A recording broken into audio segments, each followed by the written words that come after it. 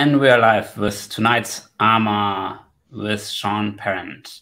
I want to welcome the folks in Hubilo and this also streaming to LinkedIn so people will, you know, slowly trickle in from LinkedIn to Hubilo or just view this on LinkedIn. I do want to say that I prefer the questions to be asked on Hubilo as I will, you know, prioritize them. But if you have any questions on LinkedIn, uh, naturally some people will ask them in the chat and I will also try to cover those.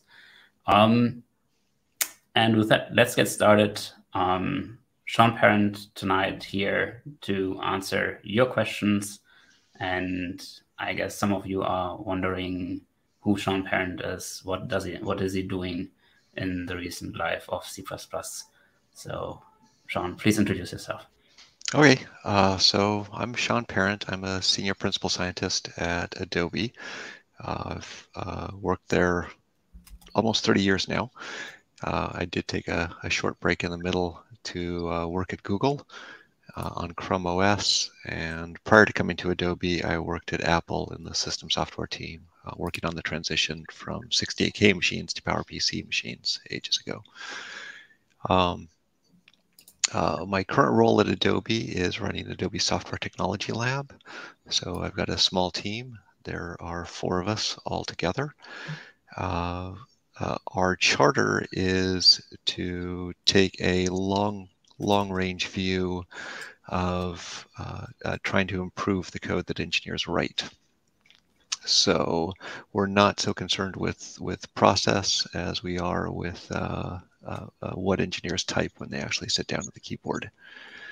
And so some of the things we're looking at are the challenges of writing correct concurrent code, um, uh, uh, challenges around the complexity of C++ and the lack of safety in C++, um, and and challenges around how we educate our workforce and kind of bring everybody up to up to speed. So, so that's who I am. Let's see, do we have any questions coming in? Um, yes, this would be now the time to ask a question. Um, so if you have questions in Hubilo, uh, I prefer strongly the Q&A tab. So if you ask a question there, that's where I will choose from. If I see a question in the chat, I also will be happy to uh, take that there. And of course, people on LinkedIn uh, ask questions. See, there's already some uh, people saying hello from LinkedIn. Yep. And there's currently let's start with an easy question. Um, what is your impression about the new C++ standard? Uh, uh, well, I don't know if we're talking about 20 or, or 23. Uh, right now, we're internally just moved to 17 after a very long effort. And uh, things like the uh, parallel algorithms are still missing from, from Apple's release of Clang. So we're not even fully on C++ 17 yet. Uh, I think there's a lot of potential in C++ 20. Uh, I'm looking forward to to cleaning up some code with concepts. Um, uh, modules have a huge amount of potential. We haven't had much time to play with them yet.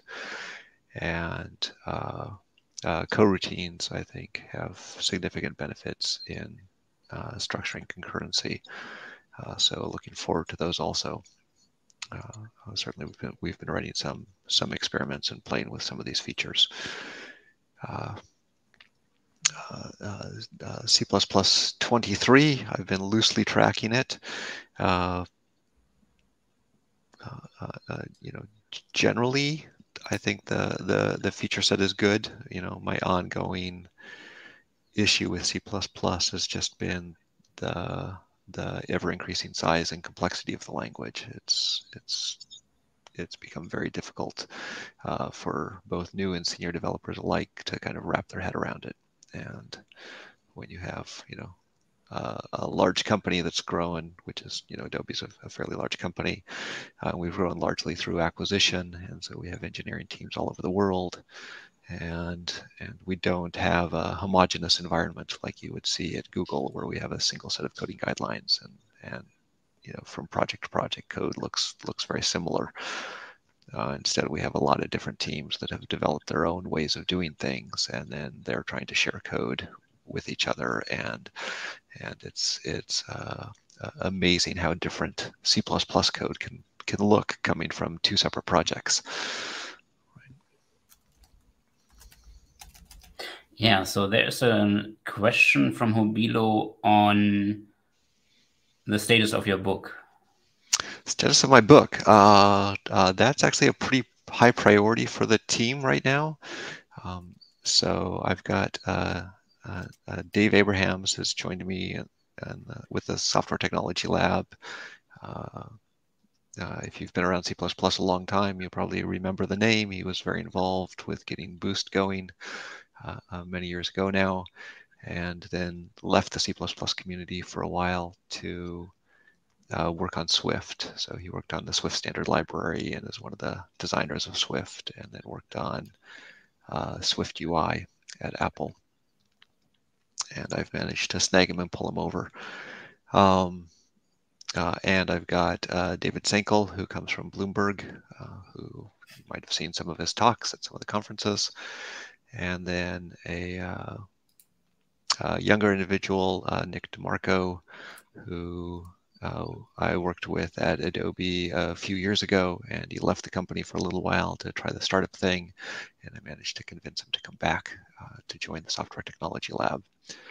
And so right now we are all working on a, a course, uh, a Better Code course, which the idea is to uh, uh, uh, use that as a way to develop the book further.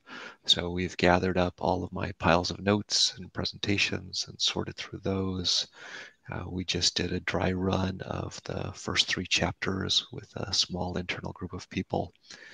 And uh, uh, it was very informative, kind of has us going back and, and, and reworking some stuff. Uh, uh, but but we're moving. I'm I'm adding co-authors and uh, busy writing and, and busy making progress on it. Finally, it's been a very very long time where it's kind of sat on the shelf.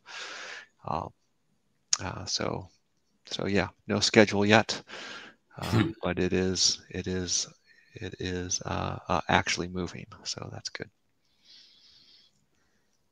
Okay, let me see the next question. What worked best on achieving C++ developers writing better code so far? Can you share some examples or reasonings? What has worked best? Uh, uh, uh, uh, you know, certainly the kind of no raw loops thing has resonated and I think had the the broadest impact. Um, uh, the the there's an arc to the to the to the book and my talks and and the class that we're developing um, uh, around relationships and and this is is the idea that it's it's it's the the things that happen uh, uh, uh, between the objects that don't happen in the code that tend to be problematic in, in the system. And so how do you go about identifying what the essential relationships are and and uh, uh, uh, codifying those and coming up with a system to reason about those uh, uh, uh, within your code. So I think as we start to get that message across, that's had a, a significant impact on how people think about their code and and and and approach development. So. And let me choose a question from LinkedIn.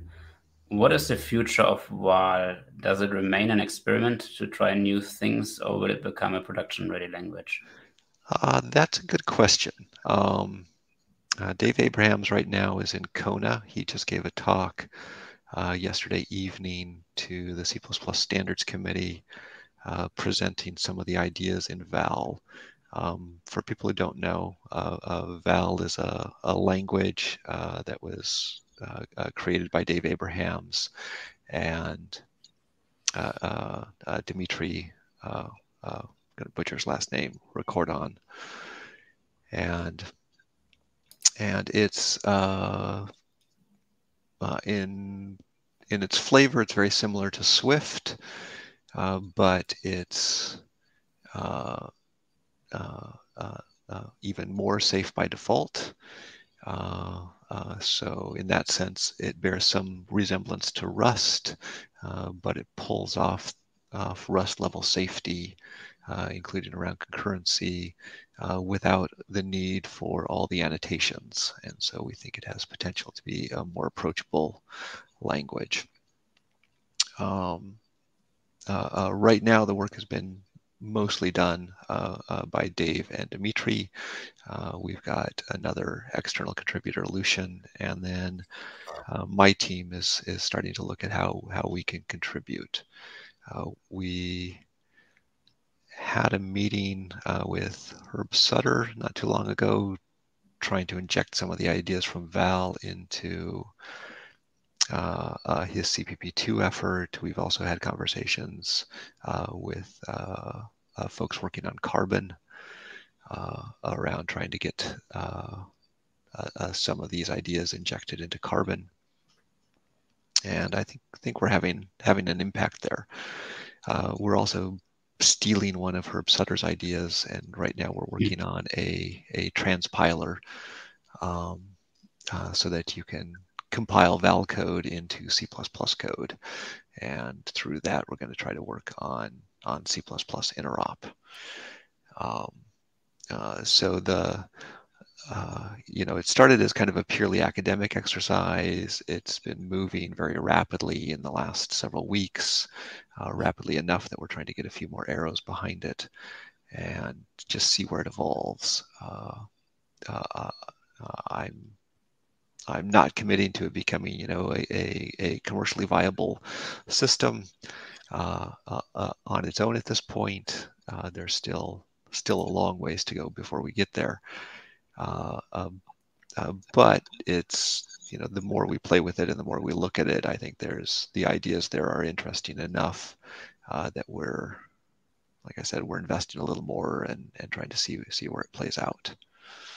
So. And how much are you personally involved in VAL?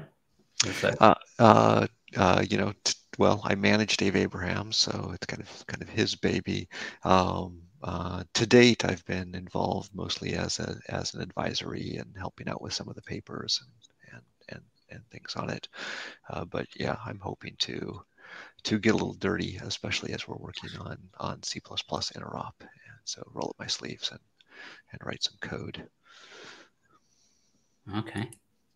Um, Conor Hoekstra asked, in your CPP North 2022 keynote, you mentioned the difference between programming languages that are efficient by definition versus efficient by optimization. Can you elaborate on this? A lot of C++ speed come from O2 slash O3 compiler optimizations. Yeah, so so so the, the, the basic idea is is at a high level, uh, uh, uh, do you have guarantees about things that will or will not happen?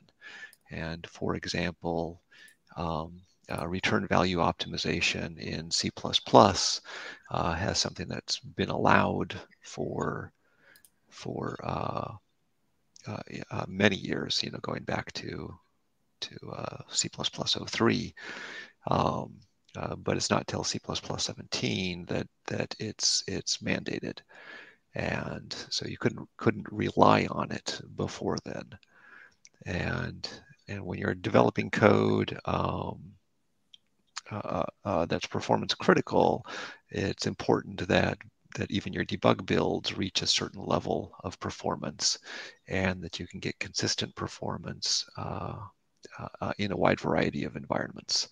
So right now, you know the uh, I work closely with the Photoshop team, and the Photoshop team builds all of their code for, uh, you know, iOS and Android and WASM and Linux and Mac and Windows. And so it's a fairly broad suite of, of uh, uh, compilers and platforms that come into play. And so, so you need sets of, of guarantees. Um, uh, so for example, uh, uh, many of the functional languages, you know, present this uh, uh, illusion that everything is a copy, and then you rely on the copies uh, uh, not happening under under the hood and getting optimized away. Uh, but what that means is is inefficient code where the optimizer can't see through what you're doing, and efficient code looks identical. And as a developer, you don't have control over that. Um, uh, uh, so one of our goals around Val is to uh, uh, uh, even take things a little further than, than C++, which is to make sure that even copies where they happen are explicit. And so the model in Val is is implicit moves are allowed, uh, but implicit copies are not. And so even if you want to copy an int, it's an explicit uh, statement to to copy an int and and uh, you know personally I find that that that much much better.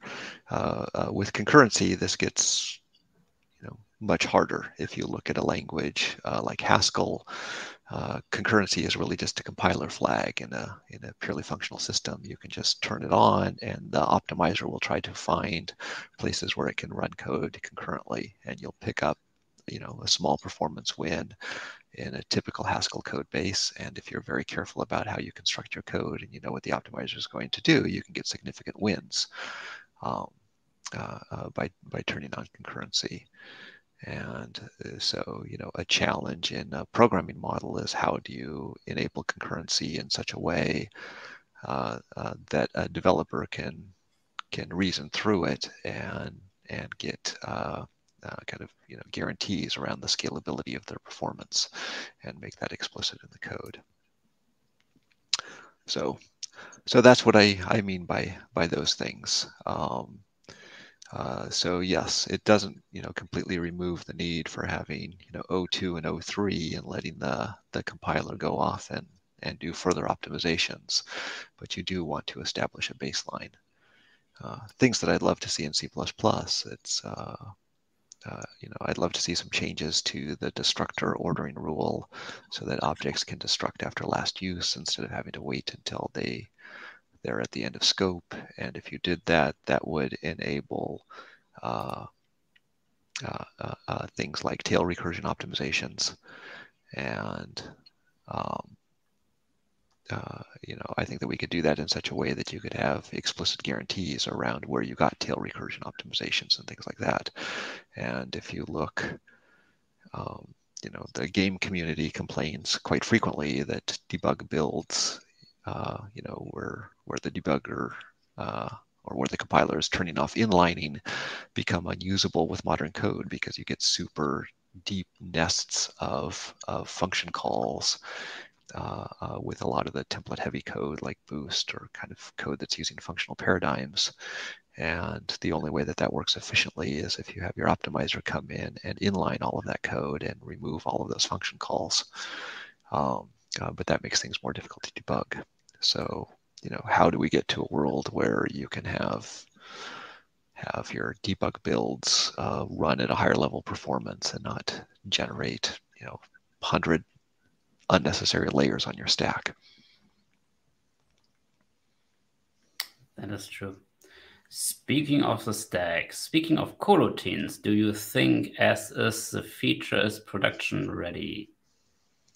Do I think the feature is production ready? Um, it's production ready. I mean, it's it's it's a well designed well, it's it's a thought through and and and and, and in some sense a, a well-designed system for coroutines. I mean, certainly in C++ 20, the biggest thing missing is the library support to make it actually usable. There's you know uh, uh, you know understanding how coroutines work and constructing them is is uh, is a challenge. Um, mm-hmm. uh, my biggest complaint there is exactly what we were just talking about, which is that uh, the model for coroutines implies a heap allocation. And in that sense, I think it's it's an outlier for the C++ language. Um, uh, you know, uh, uh, you know, invoking a function usually doesn't imply that there's a heap allocation uh, uh, on that function invocation. And, and, you know, for example, lambdas don't, don't do heap allocations compared to, say, Objective-C blocks, which do. Um, uh, uh, uh, there's there's a rationale and a reason for why that heap allocation is there, and sometimes your compiler can optimize it away. But I think it's very telling that things like uh, uh, uh Eric Niebler senders receivers code uh, really doesn't use coroutines internally uh, because Eric doesn't want the heap allocations and can't rely, there's no guarantees about when the compiler can optimize those away. And they'll almost always appear in, in debug builds. And uh, uh, uh, so in that sense, I think the, the, the feature is a little, the, the, design of the feature for coroutines is a little unfortunate, I think. Um, uh, uh, you know, it's it's kind of a weird thing in that declaring a coroutine isn't actually declaring a function, which is what it looks like. It's more akin to declaring an object or a struct. And and then the the invocation of it um, uh, I think should be purely on the stack unless you explicitly heap allocate it as opposed to it magically getting heap allocated and you're getting a coroutine handle for the for the for the allocated object. Um, uh, so yeah, I, I, I, I think it could have been better. Um, yeah, complicated system. It is. Some parts are missing. I think that 23 will bring further improvements and then there is it's a new model. People have to get used to it. Yep. And it's not like something which was prior, like not in the standard, but available of a lot of libraries. Um, there's a question on books. Um, Sean, I believe you have advocated developers to look at the work of Stepanov. In my self-study, I've been reviewing functional programming and category theory.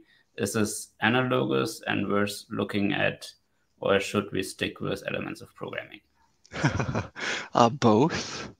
Um, uh, uh, you know, I think uh, uh, uh, category theory is interesting. I think it's very easy to get lost in category theory, and you know, at the end of the day, category theory is looking at at how how how things compose, but it's devoid of semantics and and elements of programming is is very strong on on on on looking at things by starting with defining what they actually do. Um, uh, uh, uh, so you know, I think there's there's things to be learned uh, from from category theory.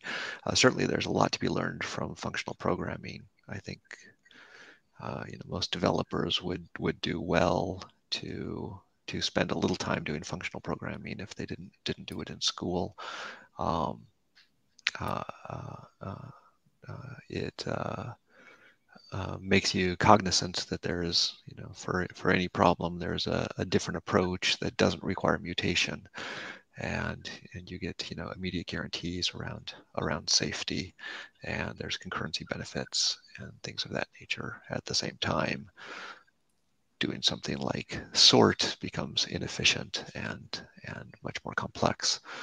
Um, uh, uh, you know, so so studying kind of both approaches, you know, the EOP approach and the the functional programming approach, I think will give you some insights into in, into you know what's the better approach for a given for a given operation. And you know, anything can be written in a you know, in an in, in situ form, kind of where you do modifications in place, uh, uh, or a functional form where you return a result.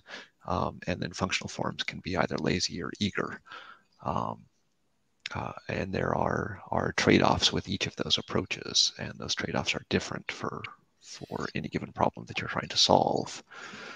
So, so I think as a developer, getting to the point where you're familiar with what those trade-offs are and any anything you're trying to solve, you can approach it in all three different ways and um, uh, uh, evaluate the trade-offs is is a good thing.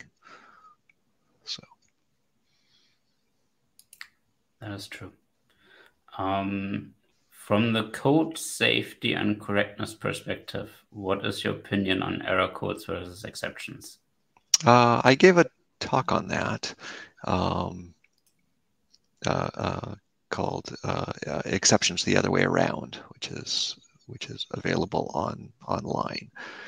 Uh, so my you know my opinion is that you know error codes that need to be explicitly handled, uh, uh, even if it's you know through a monadic monadic composition, you know where you have a language that's got like a dot question mark or something that can that can you know chain or not chain, uh, uh depending on whether or not you you've got an error.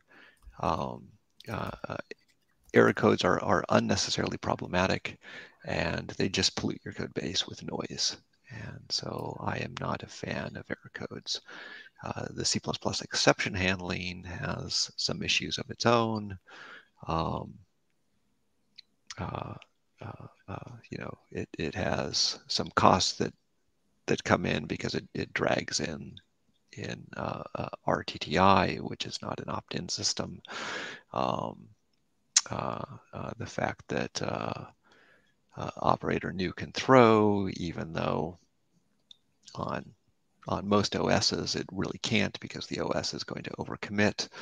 Um, uh, but the compiler still has to generate the exception tables uh, in part because operator new is a replaceable operation, which means it could be replaced at dynamic link time when your application is loaded. So the compiler can't really determine whether or not operator new will throw or not.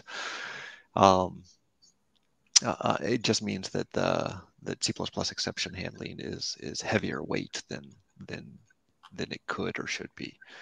Um, uh, uh, but you know, go watch my talk. I really think that that you know, going to an an, an error code environment or uh, you know, uh, uh, you know, any of the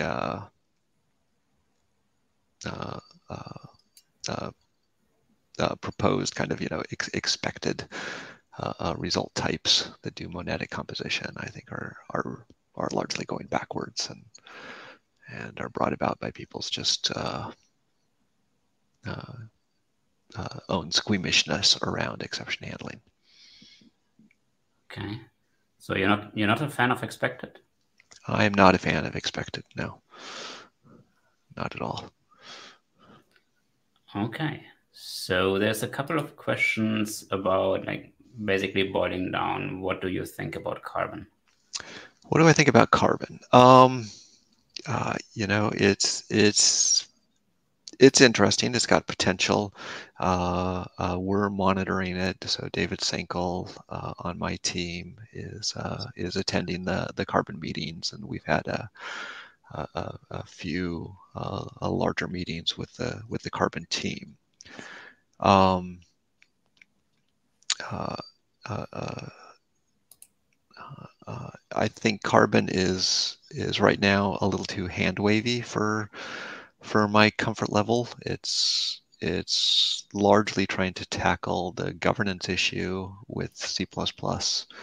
Um, uh, uh, and from a language standpoint, it's uh, uh basically going with the C++ OX model of of um, uh, uh, uh, generics, which I think is a is a good move. But but it's largely ignoring um, uh, safety at this point. It's uh, uh, I think kind of getting rid of references in favor of pointers. Even if you have the notion of non-null pointers, adds complexity. It's it's not a simplification that they that they think it is. Um, uh, you know, and so so we're watching it. I'm, you know, I would say right now I'm I'm not a fan of the of the design as it is or the direction it's going in. Um, but you know, maybe just a simplification of the C++ syntax. Um, uh, and assuming they can pull off interop, which is a big question at this point. They haven't demonstrated that yet.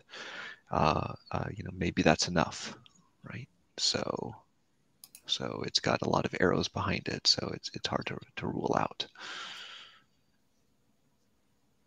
Yeah, I think from all the languages which came into light this year, they are more like an idea, and other languages already, like you know, Sean uh, mentioned Herb Sutter's approach of you know having the idea to actually compile to C++ and not try to to build up on one of the compilers might be the better way for for some people.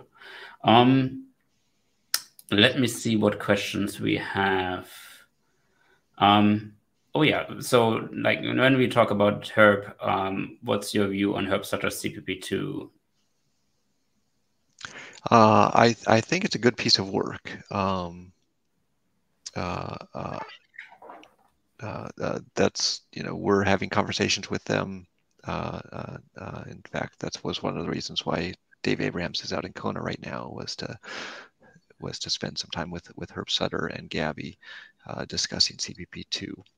Um, uh, uh, I think buried in CPP two is a a, a simpler a, approach that's actually more capable. Um, uh, uh, uh, looking at it, we think they're just a, a hair away from getting thread safety um, uh, you know, out of their safety model, and their current safety model uh, uh, rules out uh, some constructs like sharing immutable data, uh, which actually are safe. So, kind of, I think the design goes a little overboard on some edges and not far enough in others. Um, uh, um, but it's uh, it's a relatively you know solid design at, at this at this point. So so I'm I'm encouraged by it. Um, uh, so yeah. Yeah, I liked it when I saw the keynote. I also like that uh, he keeps working on it. That's like was one of my biggest worries that uh, Herb like you know presents every year a science project at his keynote, and then where does it go from there? Yes, uh, not always the best track record. Um, but I have a question on embedded. Which C++ features should be avoided while programming for microcontrollers? Uh, you know, uh, the last time I did embedded work was programming a Z8 processor, which had 2K of ROM and 128 bytes of RAM. Um, so so I'm really not the the uh, uh, uh, uh, the the best person to to to ask that question. Um, uh, uh, you know, I don't know. Use the features you can afford to use. I guess is the answer. Yeah. Um, any any C++ feature which you advise against in your own uh, coding guidelines? Um, uh, no, our, our own coding guidelines, we try not, well, so the, you know, things that I think are very problematic are things like uh, dynamic linking, um, uh, uh, which is not a C++ feature, and that's part of the problem. Uh, uh, and it's especially bad if you're doing dynamic linking and you're trying to do symbol hiding with it, which puts you immediately in in undefined behavior territory, uh, and yet a lot of a lot of teams and, a, and, a, lot of products do exactly that. Um, uh, so that's an, an ongoing pain, pain point. Um, uh, uh, uh, you know, basically, it's an ongoing effort to try to raise awareness of of what the rules are for a library versus an application. And you know, if you're if you're writing an application, you could replace operator new delete, for example. But if you're writing a library, uh, you really can't without stepping on, on the main application toes. Um, uh, uh, so, you know, our guidelines are around things of that nature and not around specific language features that you you should or shouldn't use on on the language feature front. We try to educate people as to as to you know what things uh, uh, uh, uh, do and where are the sharp edges, as opposed to to making mandates about you know don't do X. You mentioned safety aspects of codes. What is the approach at Adobe to test safety relevant generic C++ code, a reasonable amount of templates, no excessive metaprogramming? Yeah. Um, you know, our approach, I think, is like most of the rest of the industry, uh, which is, you know, these days, which is trying to rely on uh, static analyzers to the extent that we can, and sanitizers uh, to get us get us beyond that. Um, uh, you know, from from uh, an educational standpoint, we try to teach people about how to uh, uh, work in an environment where almost everything is a whole part relationship, and uh, uh you know, uh, getting rid of shared pointers to mutable data, and uh, getting rid of of, of of sharing data through threads, except through ex explicit communication channels. Uh, uh, things of that nature, um, uh, which are all you know built around ideas of safety. but yes, you know, I think like the rest of the industry in C++, it's a it's a difficult nut to crack. Uh, personally, what I've been doing is is almost all the code I've been writing lately. Um, I actually write it first in Dafny, which is uh, a um, a language that can output in multiple languages, including C and um, uh, TypeScript and, and, and, and some other languages. Uh, uh, but Dafny includes a, a, proofing system, so you can write pre and post conditions and loop invariants, and you can use existential and universal qualifiers and the system will will uh, uh, prove your code is correct to the specification.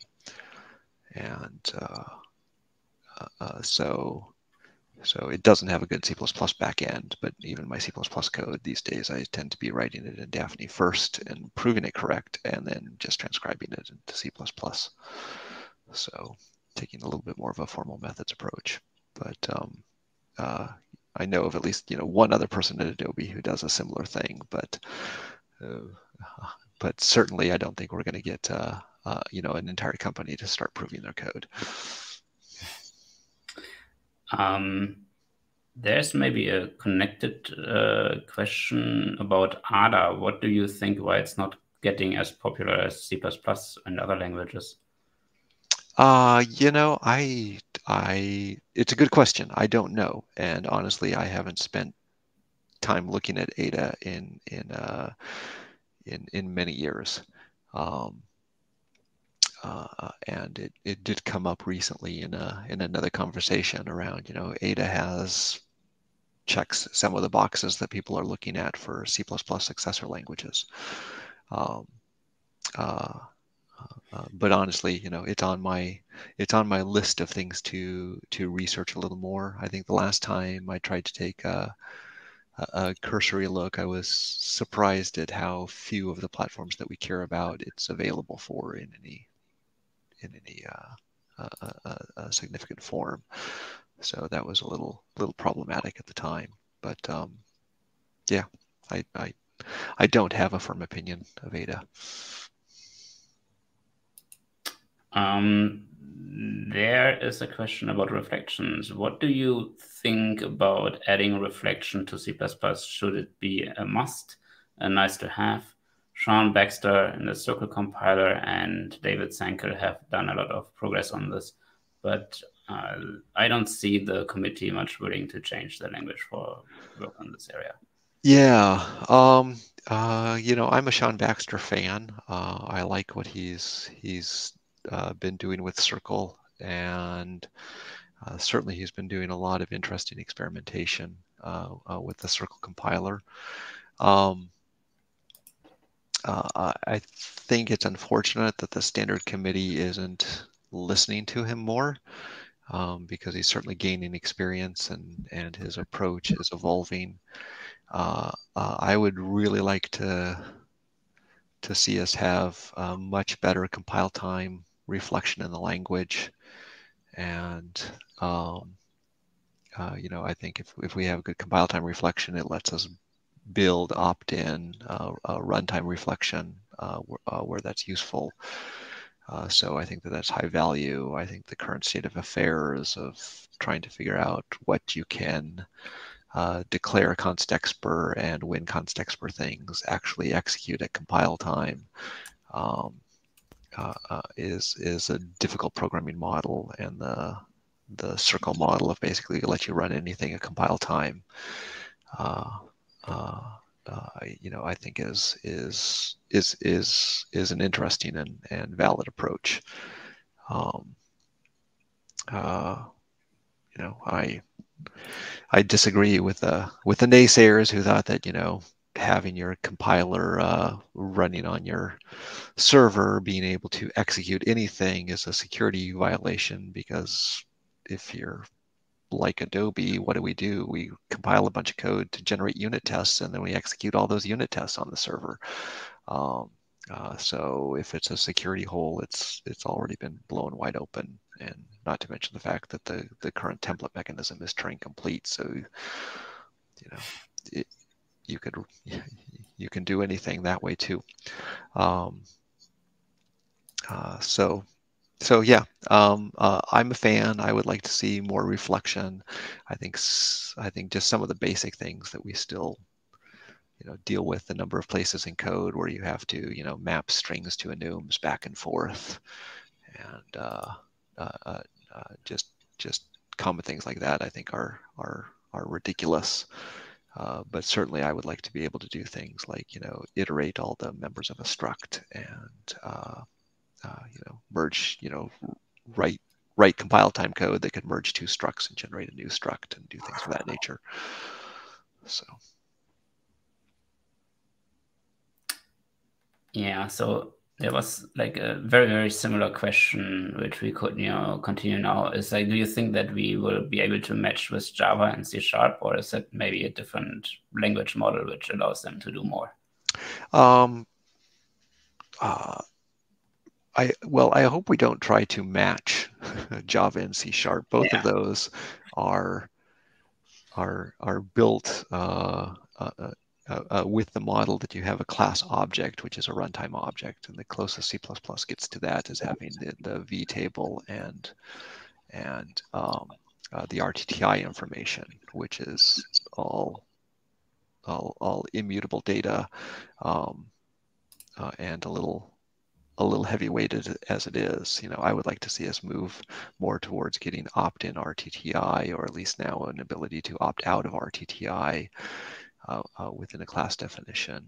And uh, uh, there are many techniques for building your own vtables. So I think having direct inheritance and uh, having the compiler generate vtables for you is a is an unnecessary feature of C++. Um, uh, that said, uh, there are uses where you do want, you know, the equivalent of a class object.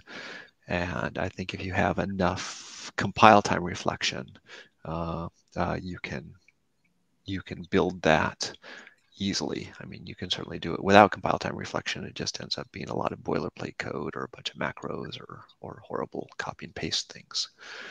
Um, uh, I used to uh, uh, uh, when Matt Austern was kind of lead on C++ at Apple years and years ago uh, I used to argue with him that um, he was he was working on both C++ as well as as Objective C at Apple, and Objective C is another language that has class objects and and and runtime reflection.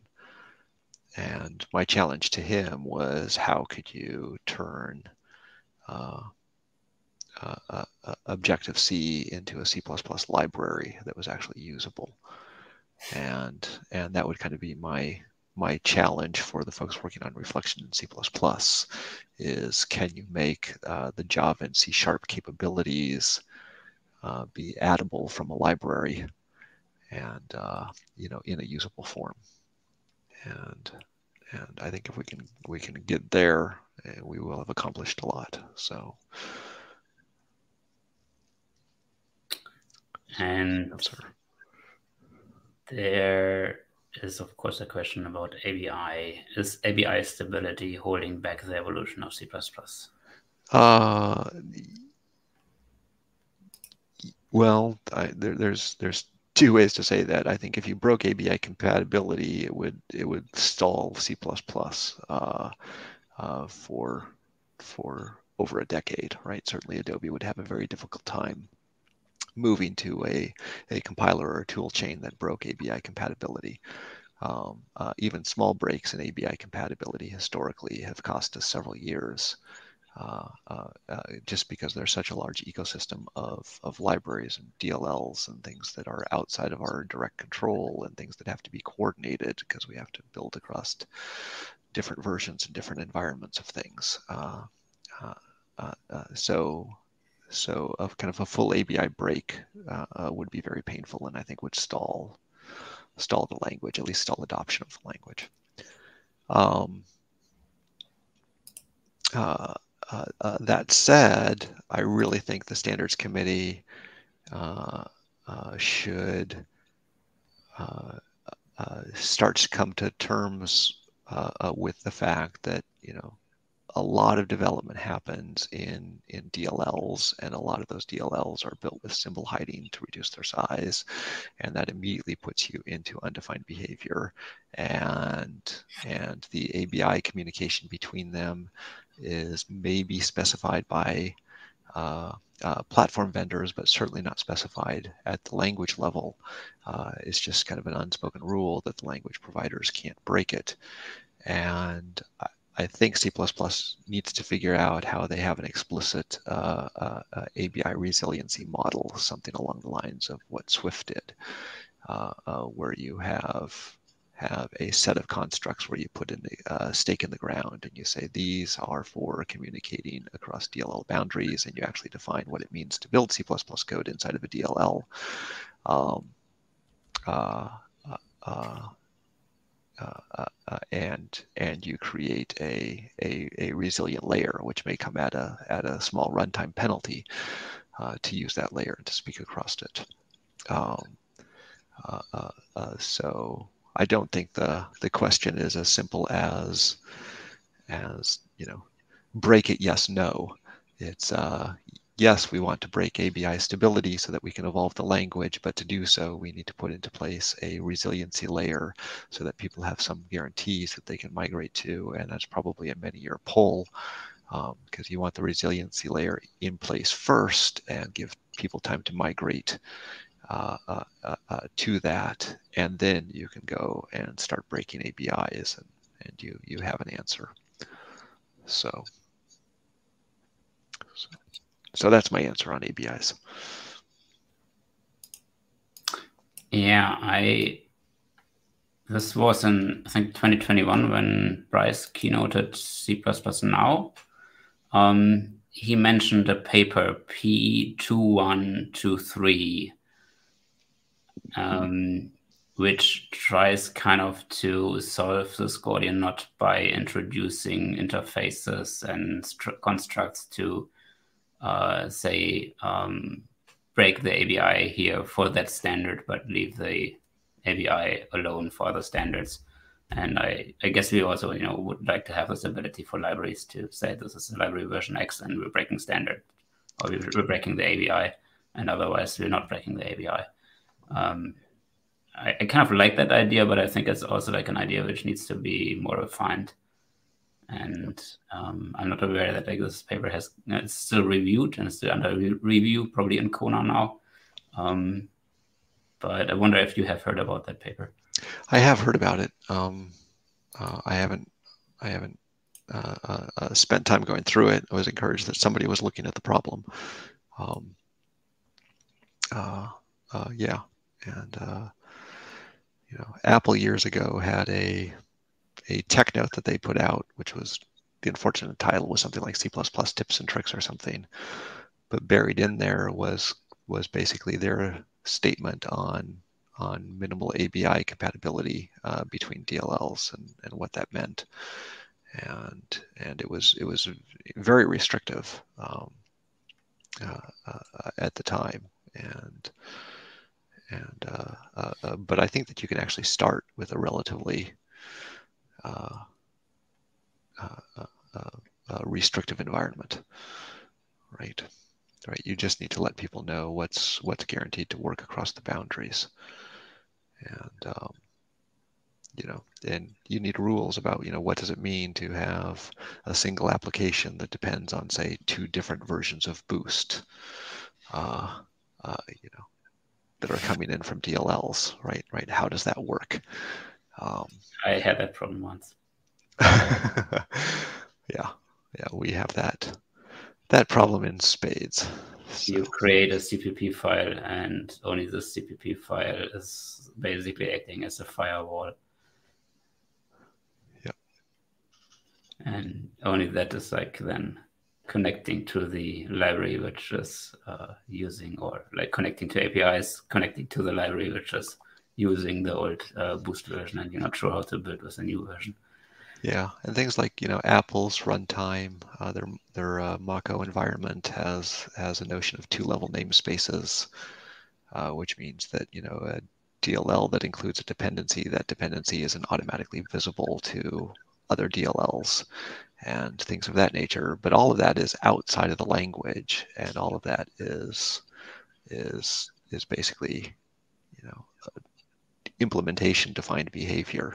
Um, uh, and as far as the language is concerned, it's undefined behavior, you know, to it's an ODR violation technically.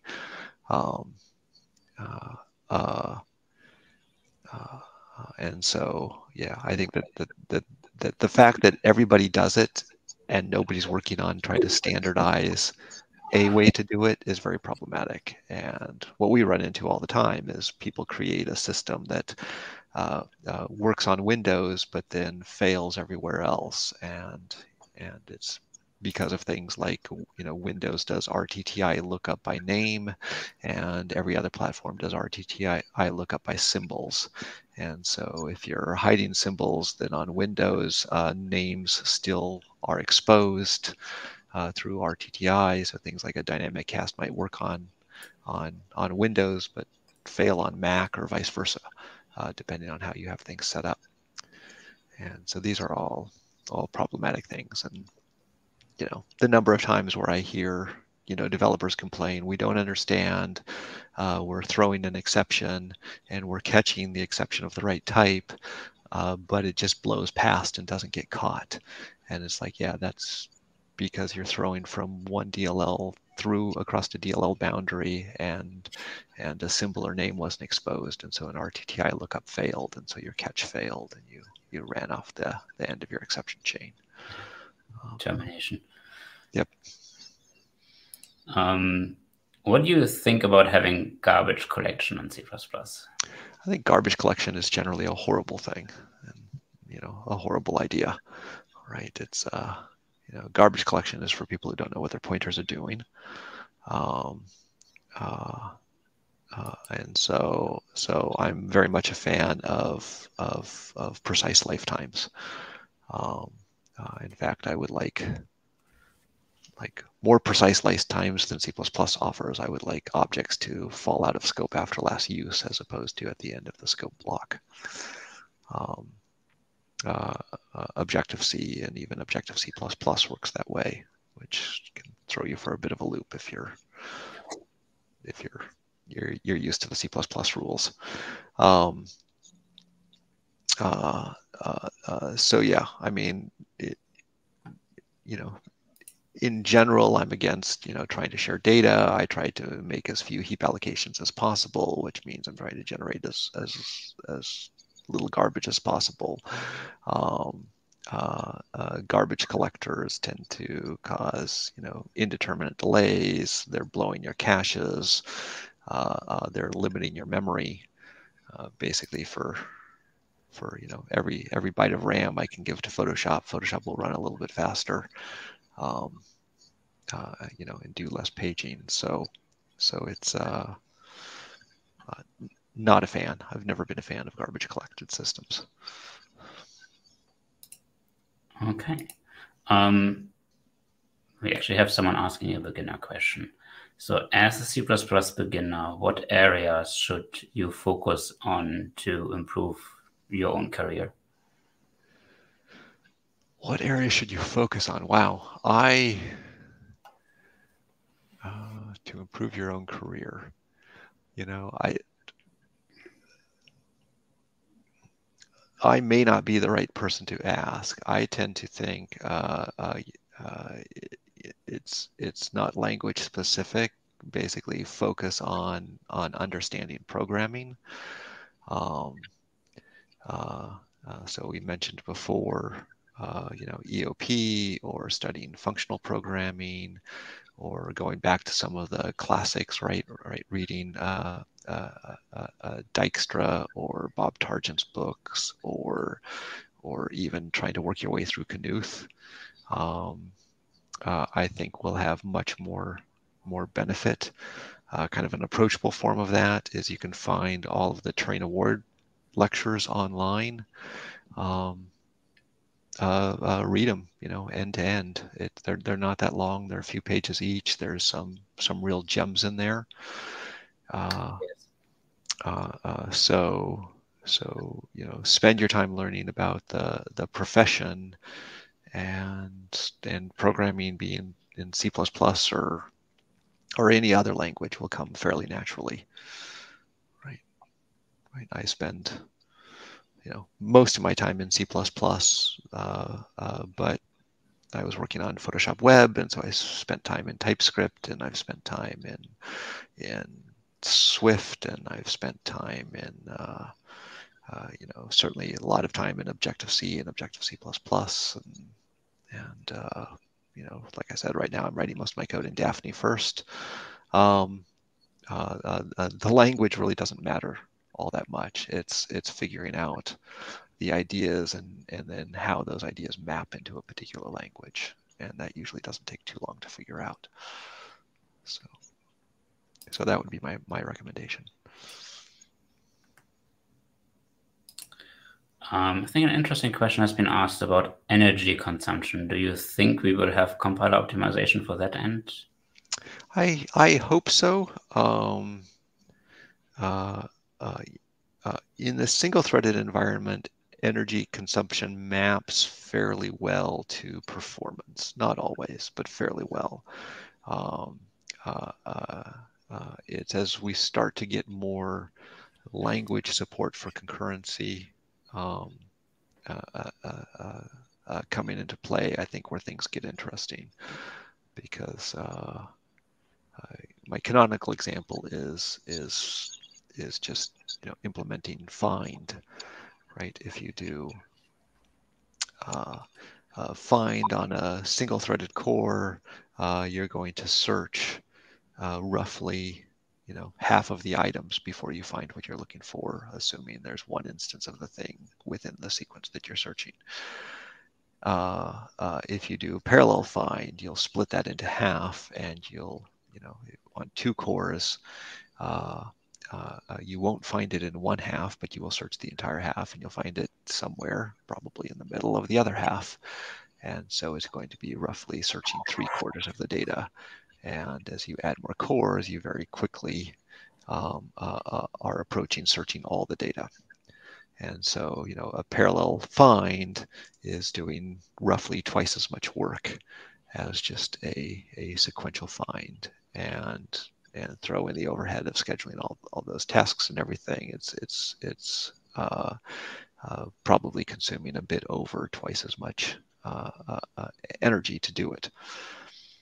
Um, uh, so that's you know I, I, think that's that's going to be be challenging, and certainly if you look at large server-side systems, you know Google scale type systems. Uh, uh, uh, you find that that it's the energy costs that start driving uh, uh, uh, you, you, know end up being the majority of your total total running costs right your energy costs at that scale start to to to dwarf your engineering costs for development and dwarf uh, your hardware costs and all of that. And that's you know especially true these days as as energy prices have been skyrocketing. Uh, uh, this is why you start to see you know large data centers building their own solar farms and and trying to manage their own costs that way. Um, so yeah, I mean, I would certainly like to see it. I would like to see like you know, a dash OE, which was you know, compile my code to, to be energy efficient.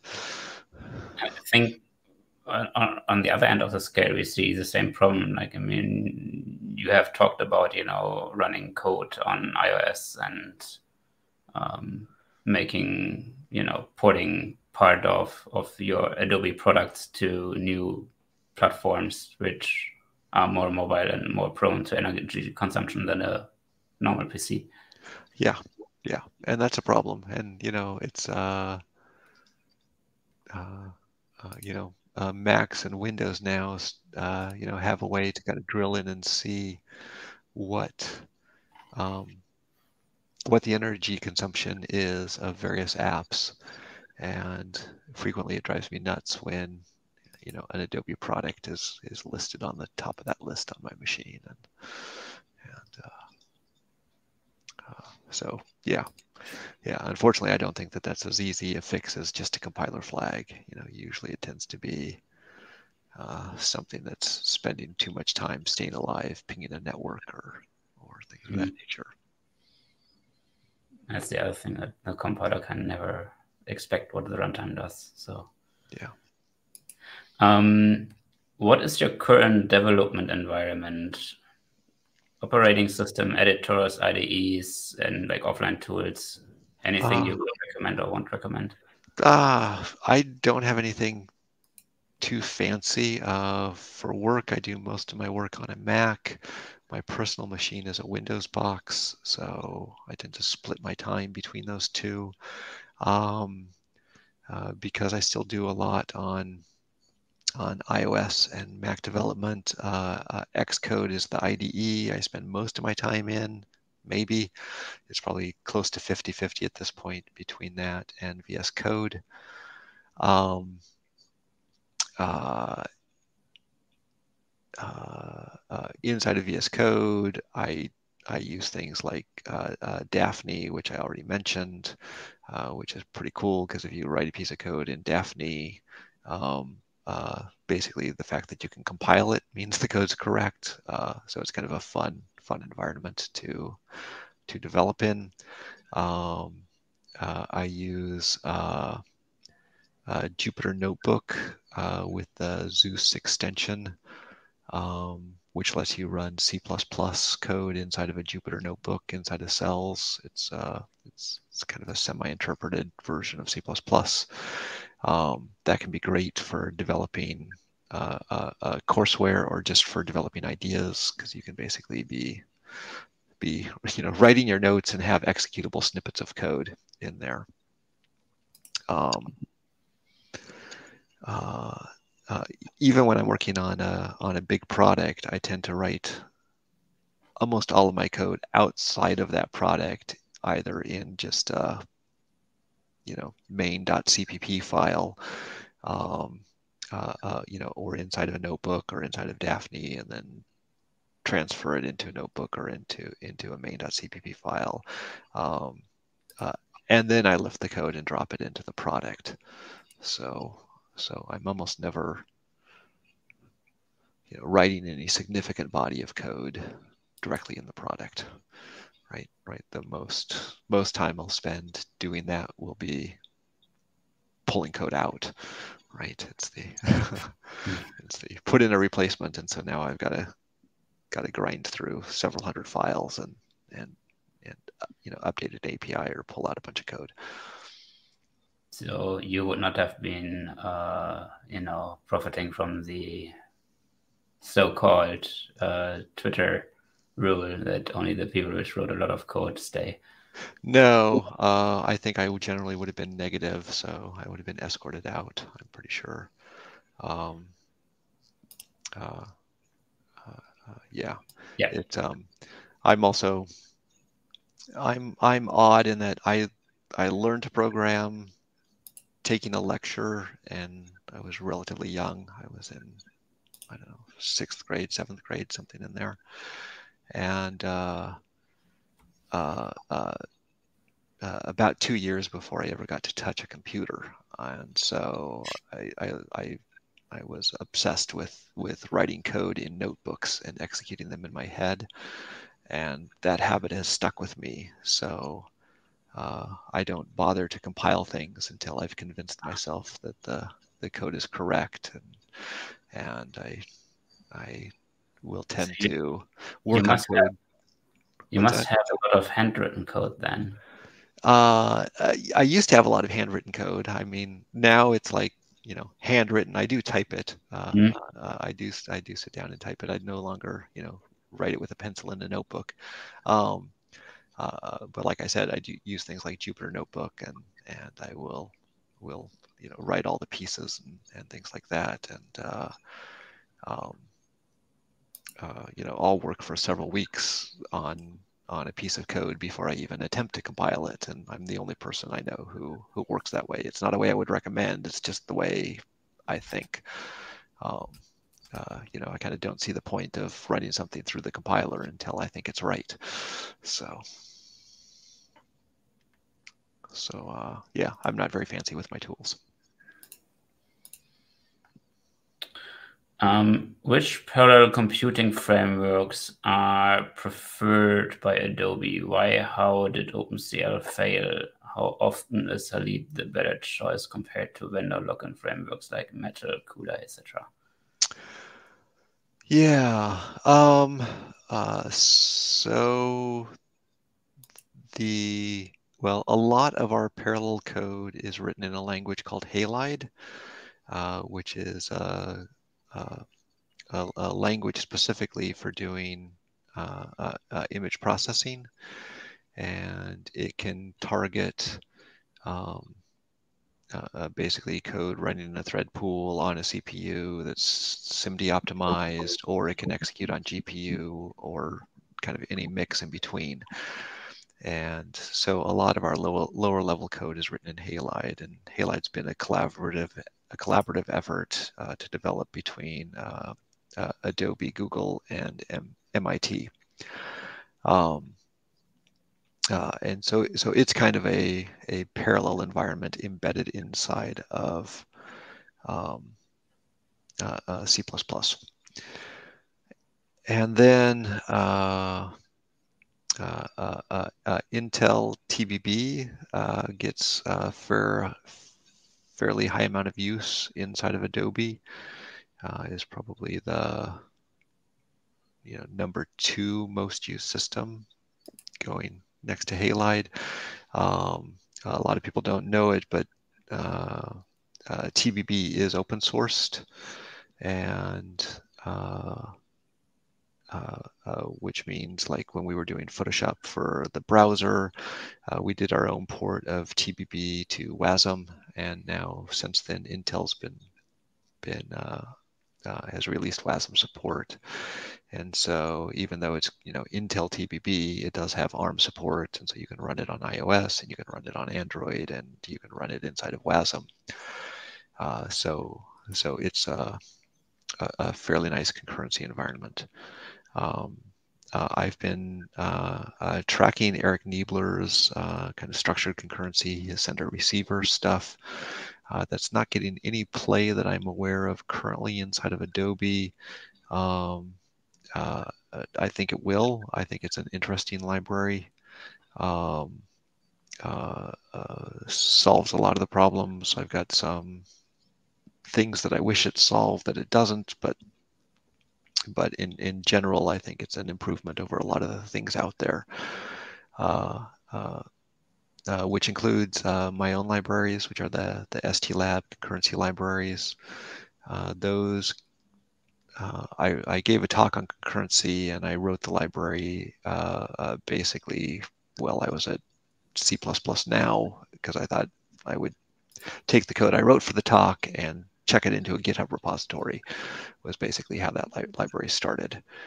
and uh, uh, it's it's since evolved quite a bit, and I've had uh, uh some external contributors, uh, including Felix Petriconi, who's who's who's contributed a huge amount to the library.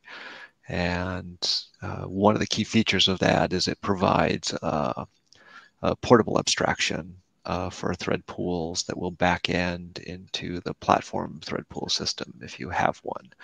So mm-hmm. uh, uh, under Windows, it will use Windows thread pools, and on Mac, it will use Apple's libdispatch, and on Linux, it can use libdispatch if you have libdispatch, and it's got it's configurable to use uh, the the Qt uh, thread pool. So if you're running inside of Qt, it can use their thread pool.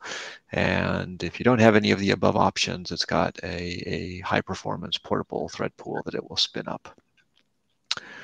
And uh, uh, uh, uh so so for that reason, it gets a fair amount of play at Adobe because it can it can basically run anywhere. And uh, uh, it's also got an interesting uh, future model. It's, it has uh, futures with continuations and continuations behave like regular types. So you can fork computation by just copying a future and attaching continuations to it going in different directions. Um, uh, and it's got an interesting cancellation model where uh, uh, it applies RAII principles to computation. And so if you let a future go. If you let a future destruct, the assumption is then you don't care about the result of any computation leading to that future. And if that was the, you know, any computation for which for which the the the only dependent is that future uh, will get canceled. And so you can view it as, you know, within your code, you end up with a a graph. It can be an, you know, an arbitrary DAG of these of computations uh, leading to futures with continuations with more computations attached to them. And as you you let things go, the right things cancel. And um, uh, uh, so that's been getting a fair amount of play inside of Adobe. Both our, our AI team has been using that. And there's an effort to uh, uh rewrite the Photoshop VM system that's been using that. So Well, we are now a bit past the hour. Do you have more time for more questions or shall we close? Yeah, yeah. If there's more questions, I can answer one or two more. Okay. Uh, let me look into. Um, there's two questions about GPUs. Uh, one is about um, PMR allocators use virtual functions, and if you write software for low-level GPU hardware, then you cannot use these as allocators if you would like to use allocators. Uh, was this a must? Uh, couldn't they make it optional to have uh, virtual functions in PMR allocators? Uh, I, you know, I've never been an allocator fan. Um, uh, because allocators invert the whole part relationship. So I'm much more a fan of doing kind of explicit data structures into which you you you uh, uh, uh, uh, construct objects. So so if you need to do those things, um, you know, I think every every use of an allocator is kind of hiding an, an, interesting data structure. Um, uh, and I don't think allocators get much much much play at Adobe. Uh, uh, could the vtable in in in PMRs have been optional? Maybe. I mean, if you know me, I'm not a fan of inheritance. Anyways, uh, uh, it could have it could have gone with a type erasure approach. Um, you know, I also think you have uh, GPU systems uh, like CUDA, which are are increasingly looking to just run any arbitrary C++. So the problem will probably resolve itself over time as we get more uh, more fluid computation models uh, uh, uh, executed on GPUs, which is you know a huge mess right now, right? I mean, you've got you've got Vulkan and CUDA and DX12 and Metal and that's one reason why why we have a significant investment in, in Halide. It's just supporting all of these GPU environments is a pain. So, mm-hmm. so that's my answer to that one. Okay. Yeah, there's a similar question about how efficient and portable GPU programming could be added to the standard. Like, you know, how do you pro- uh, support GPU programming in ISO C++? Yeah. Um, uh, uh, you know, like I said, the, the, you know CUDA guys are probably furthest along. So you know, Bryce Adelstein would probably be a better person to to ask this question of. Oh, yes. um, uh, uh, and their approach is just trying to get you know all of C++ executing reasonably well on on a GPU. Uh, the biggest problem that you have on GPUs is uh, uh GPUs don't like sharing at all. And in within C++, it's very hard to tell what's shared and what's not shared. Uh, there have been, you know, a few attempts at things like uh, uh, uh adding annotations, you know, for, you know, restrict or or don't alias or things like that around around arguments and around data, which that tends to be somewhat problematic to use. My personal thought is that uh, something along the lines of of CPP2 or along the lines of Val or even along the lines of Rust, um, uh, uh, where where if you have sharing, the sharing has to be explicit and the default is no sharing.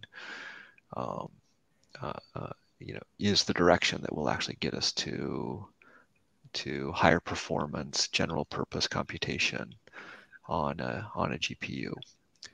Um, uh, all of that said, uh, uh, uh still, uh, you know, the GPU isn't some some panacea. The the bigger problem is how do you find things to parallelize within your within your code base. Uh, you know, I see an awful lot of code that's written in in environments that have you know an async await model, where the the code is you know looks like you know, await, make this asynchronous call, which really isn't introducing any parallelism at all. It's uh, uh, it's you know it's just just uh, a, a, a, waiting along a along a single thread. It maybe is allowing other things to execute, assuming you have those other things.